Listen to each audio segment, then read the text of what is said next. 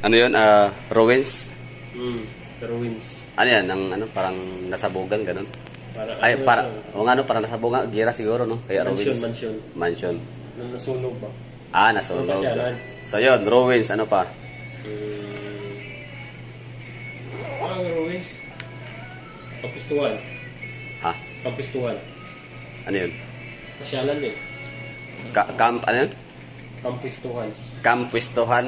Kampwistuhan, pasyalan din. So, yun yun, dalawa. Ano pa?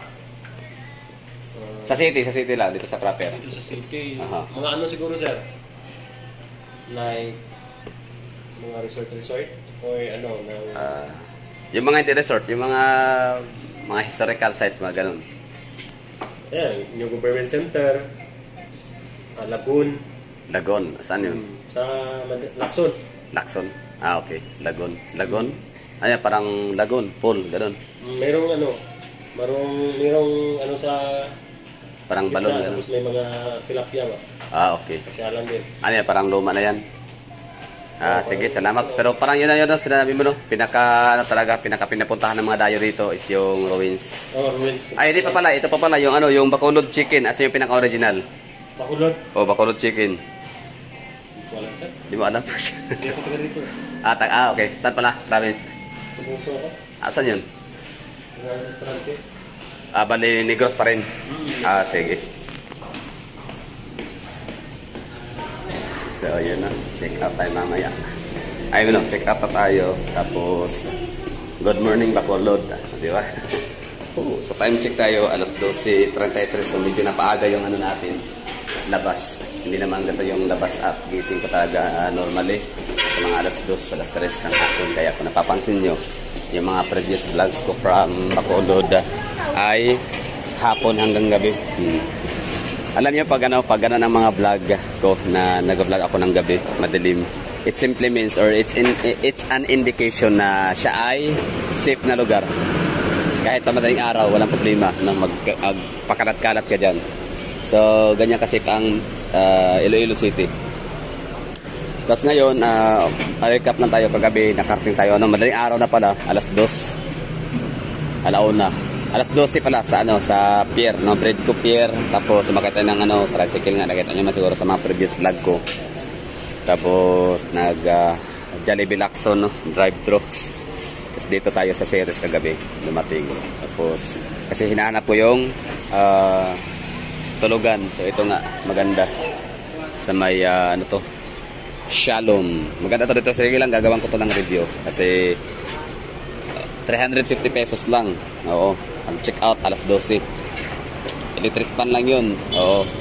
Tapos meron naman silang aircon 500 pesos. So mas mura din siya kumpara sa uh, iba kong mga natulugan sa Iloilo. Sa Iloilo ang natulugan ko doon is 700 pesos per night. Ang ganda din, komportable din.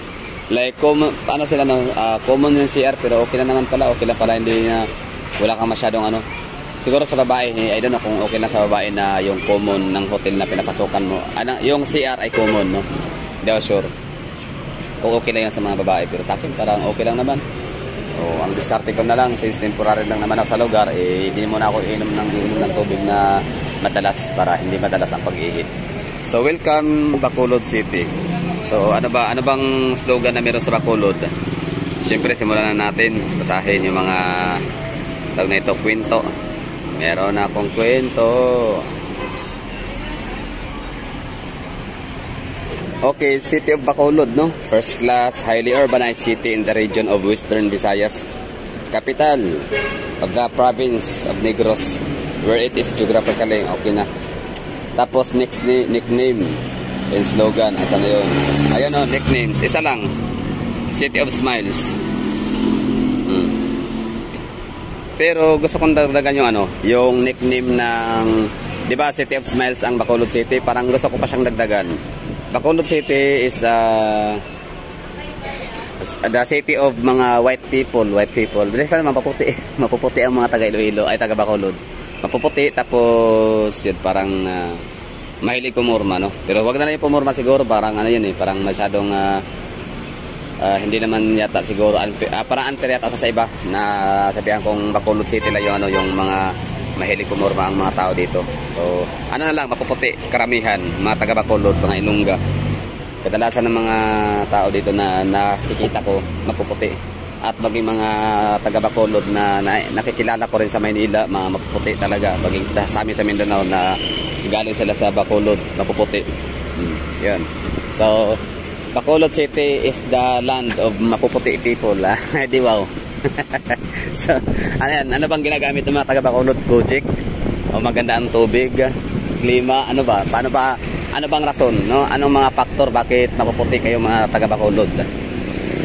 Yan lang. So series ha. Gagawa tayo ng mga vlog dyan para sa aking ano yan, pang self, self-serving ah, content yan. Kung magkano nga ba pamasahe, papunta doon, papunta rito. Kasi ang ganda pa lang magbiyahe dito sa Bacolod, Iloilo kasi pag nasa Bacolod ka, pwede kang pumunta ng Iloilo for uh, as low as sa 130 pesos, makakatawid ka na, no? ng dalawang oras lang nasa kabilang ah, nasa Panay Island ka na tapos pwede ka palang mapunta ng Cebu from Bacolod pwede ka palang pumunta ng ah, Dapitan pwede ka pumunta ng uh, Zamboanga yan so maraming ano maraming mga mapapuntahan pala kahit nasa kahit isla ang Negros ang Bacolod City pero ano siya hindi siya trap So, gusto kong mag-travel ulit by land, no? Nakamiss din yun. So, ito yung naki, napi, na, napili ko, no? So, ang na isipan ko ngayong bibisitahin or uh, i-stroll. I mean, strolling ba tawag dyan? Yung basta papasyalan no, by land. Yung babiyahe-biyahe ka ng sakay ka ng bus lagi. So, yung Cebu, gusto ko siyang uh, babaybayin mula sa Cebu City papuntang Oslob. Tapos, dito, papuntang mga Negros, Iloilo, mga Rojas, Capiz, Aklan, Zamboanga, Dapitan, Dumaguete. So, aabangan natin yan maybe next year, no? Mm. Tapos, sila, oh, series. Tinatanong ko nga yung mama kanina kung ano nga ba yung pinaka dapat na puntahan dito sa Bacolod. So, agad-agad ang kanyang uh, nirecommend ay ang The Ruins. So, ngayon, tinatanong ko yung ano, Bacolod Chicken kung saan matatagpuan. So, wala siyang uh, nasagot kasi hindi rin pala talaga siya para, hindi rin pala siya taga rito kaya pala yung kanyang tono hindi ilunggo Hmm, walang ano walang ano na na na na na walang ano walang rhythm and uh, rising and falling intonation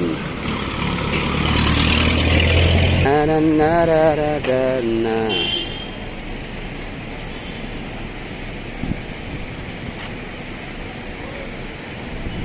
Okay. Wait lang ha, may ginagawa lang. Alright. Ay, lakad-lakad na na dito. Bala, basta kanina, habang ako'y galing sa ano, bread may mga nadadaanan kaming mga opisina, no? Government offices like mga Capitolio, kung ano, pa yung mga regional offices nila doon.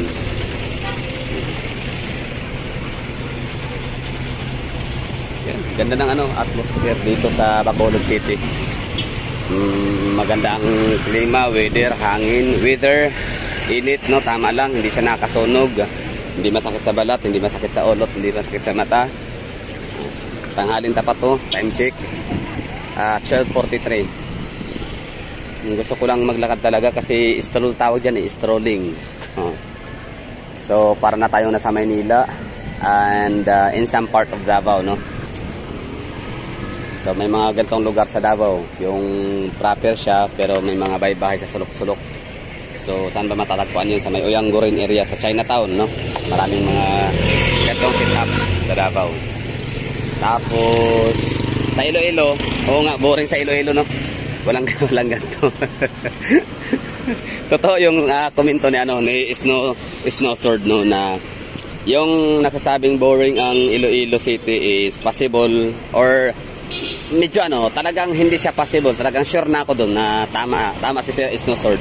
Na boring ang Iloilo na nakikita niya sa akin sa I don't sa vlog ko lang o experience niya kasi wala talagang ano, wala kang makikita ng mga natutulog sa kandi masyad. Wala akong nakita. Oo. May mga nanghihingi sa akin lumalapit sa park o may mga may taong grasa ba? Actually hindi taong grasa yan nanghihingi yung meron na siyang mitbit na resita, nanghihingi ng pambiling gamot, pamba, pambiling bulong, tapos may mga bata nanghihingi. No? Which is normal. Uh, kumbaga, okay lang, no? Hindi siya issue sa akin. Like, tsaka, hindi naman siya talaga rin may mga manghingi. Like, maging sa Davao, ang dami din ng mga badyo pa nga. ang iba. May mga native. ah. Ngayon, yan lang. So, okay lang, no? Kaya ito, ito, pag ah, nasa gantong lugar ka, para ka rin nasa sarili mo ring lugar. La, para kang nasa Davao na rin. Para ka rin nasa Manila o sa Cebu. Sa Iloilo, wala. Super na, no? Kakaiba ang Iloilo. Wala may ganito. Parang, mas, ma, parang napaka, ano niya na, napaka-isolated na lugar. Parang, ah, may aeroplano naman, may barako naman. Di ba? May bus naman para mapuntahan sana yung Iloilo ng mga Pilipino. Pero, bakit hindi yata ako informed na ganun pala ito ng Iloilo? Ang galing, ang ganda ng Iloilo. Nakatuwa. Oo. Amazing. Dati kasi may mga may mga kakilala ko mga Tagalog. Oo, mga taga Maynila. Parang ah di naman sa eh, ewan ko parang tingin ko parang ako yung niloloko nila. Niloloko lang ba? Ang ibig sabihin ng niloloko parang dino-joke ganun no. Pinagkakatuwaan na Ah, kayo ba sa Davao? Ah, iba ano bang ano ano bang mga currency dyan sa Davao? No, kasi nga iniisip nila ang Davao City napakalayo. Iniisip nila ang Davao napakaganda. Which is totoo naman no.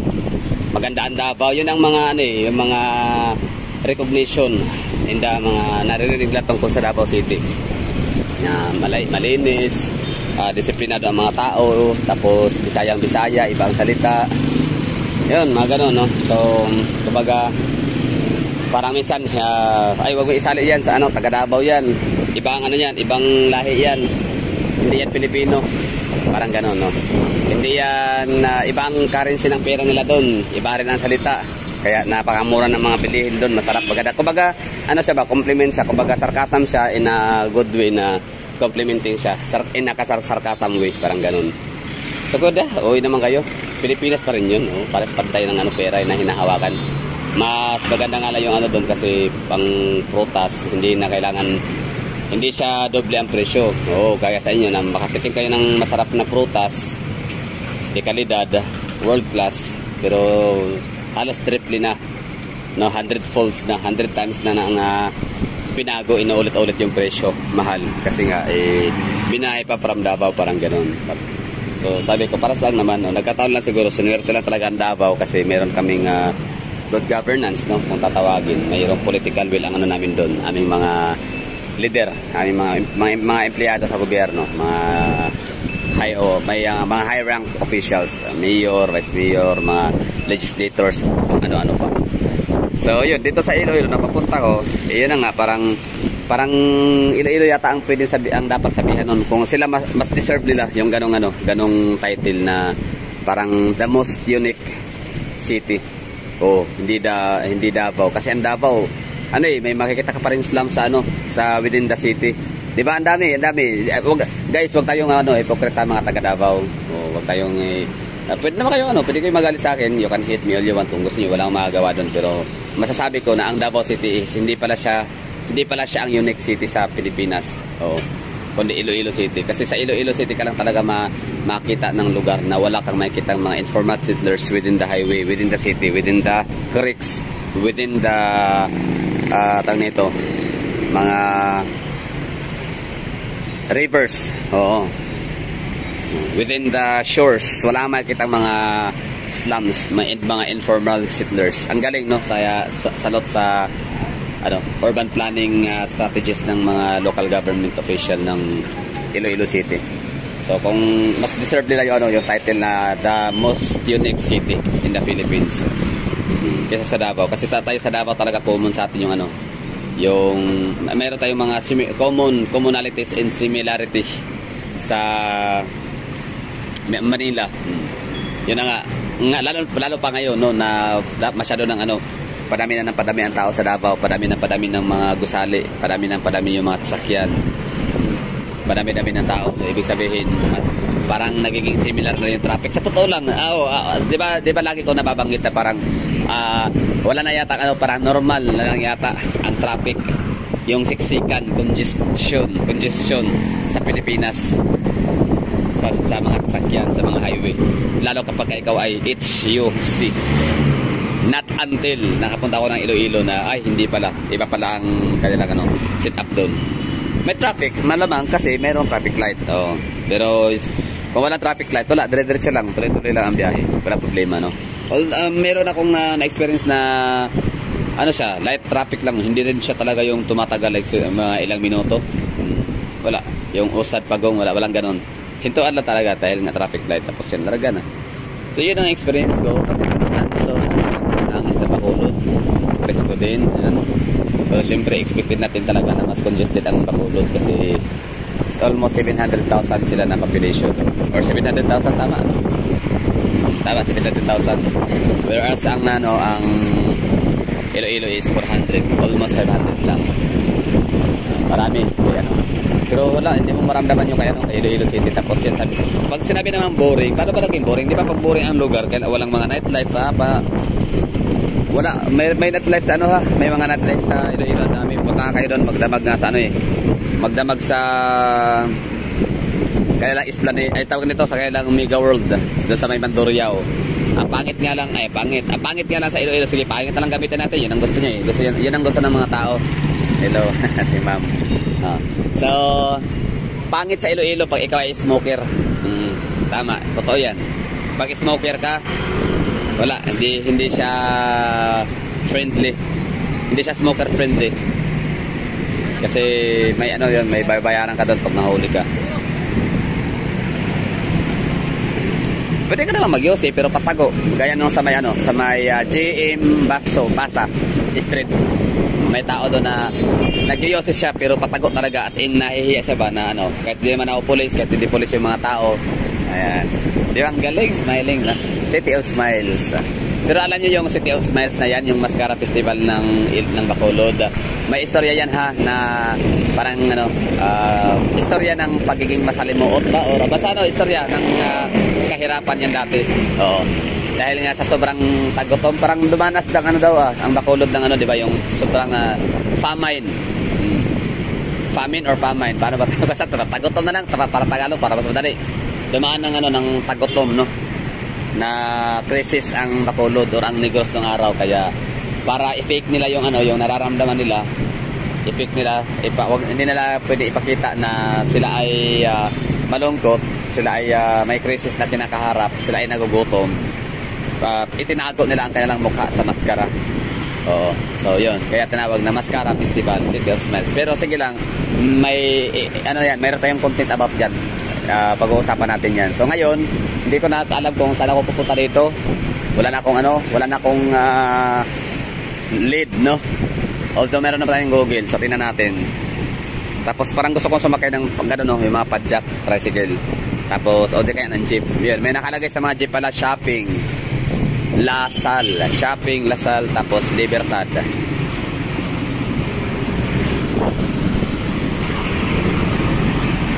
Maliit lang din ang ano no, poverty incidence ni Bacolod City. 4% lang oh. Ibig sabihin nun, sa 600,000, okay, so mali yung sinabi kong 700,000. So, 600,000 inhabitant. Okay, so pinita ko lang siya, no? So, 600,000 inhabitants, meron diyang 4% or ah, nasa 24,000 to 25,000 ka mga bakulod nun ang walang pambili ng mga pagkain, no? Halos. Ah, so, sila yung walang access, no? Wala silang pera hirap sila makabili ng mga basic necessities. So sila yung ah, nakakaranas ng matinding kahirapan. So ito yung tinatawag na poverty incidence. Tama? So, yun. Sana. Sana tama. Kasi ito si Kuya. Alas 12. So, meron siyang iinuming ano doon, no? nakatago. Wala po ba yun, no? Emperador. Basta yan, no? Tinago niya doon. Kasi, ah, babalik na yan mamaya, aalak na yan. yan lang, no? So, ano ba bang puntahan natin dapat dito? Tingnan natin yung location. Or, ano, ano ba? Mall muna, no? Or pinakamalapit na shopping mall. Ayala yata o Robinson. So, yun lang ha. Maraming salamat sa mga nanonood dyan. Sana nagustuhan nyo itong vlog natin. Pero tingnan ko muna sa inyo. Baka, siyempre, kung kayo din ay ah, papunta ng Bacolod first time, tapos kung kayo bababa ng, ano, ng series sa bus terminal, Papakita ko lang sa inyo ano nga bang meron dito malapit na pwedeng puntahan kinabukasan. Kasi ako, flight ko is bukas no ng hapon. Kaya dito na ako sa, sa Bacolod next day. So, ika namin nila, so meron silang Negros First Cyber Center, IT and BPO Hub. Uh, meron din silang Concentrex Bacolod. Meron silang Gaisano Grand Bacolod City Mall. Bacolod is the Philippines' third fastest growing economy in the in terms of information technology and business processing activities. The city has been recommended information blah blah blah. Para di ko na mahanap yung ano. Basta punta na tayo sa ano, mga malapit na mga shopping malls dito. Tatanong tayo dito sa mga tao. Bye bye. See you. Sabay kayo sa aking ano, sa aking vlog ha. Sama ko kayo lagi. Always yan.